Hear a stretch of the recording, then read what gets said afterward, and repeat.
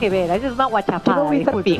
Hola, ¿qué tal queridos suscriptores? Bienvenidos a tu canal Farándula Perú y más. Así empezamos con lo último de las novedades el día de hoy. Paula Manzanal, no quiero seguir yendo al mismo lugar donde todos los guerreritos van. La modelo dejó en claro que no tiene restricciones para entrar a Estados Unidos como dijo Macarena Gastaldo y lo demostró en sus redes sociales. Me da risa. O sea, yo por lo menos he ido Estados Unidos unas 50 veces, creo. Pero recién me entero de que los que tienen pasaporte europeo necesitamos una visa. No, se pasó ya.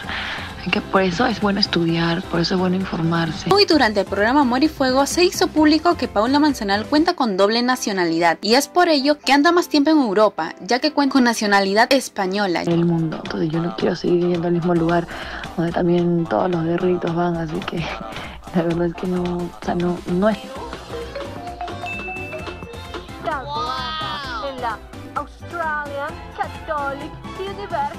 Gigi Mitre agregó, si no va a Miami no es porque no puede, sino porque no quiere. La Manzanal también agregó que le encanta Estados Unidos, pero que no está en sus prioridades ahora. Ella desea conocer otros lugares. interés, no te, no te desmerezco que sea lindo, a mí me encanta Estados Unidos, pero no, no es el lugar, no está en mi, mi lista de prioridades ahorita.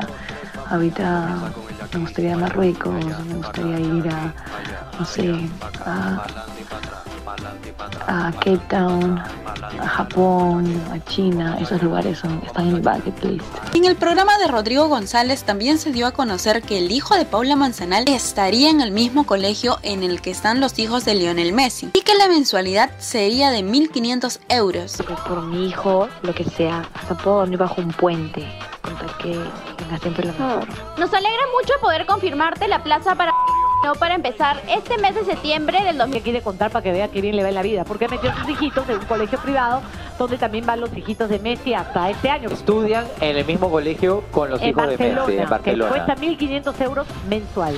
Peluchín dejó en claro que con esta respuesta Macarena Gastaldo solo podría tener razón si es que esconde algo que aún no ha contado. Menos que Macarena sepa algo que nosotros Sí, no sí, sabemos. definitivamente, ¿no? Yo creo que eso es lo que- eso es lo que-. ¿Y ustedes qué opinan ante estas fuertes declaraciones de Paula Manzanal? ¿Realmente Macarena Gastaldo le estará escondiendo algo muy fuerte a Paula Manzanal? Déjame tu opinión en la cajita de los comentarios y no olviden de suscribirse y activar la campanita para más información. Nos vemos en una próxima edición de Farándula Perú y más. Bye bye.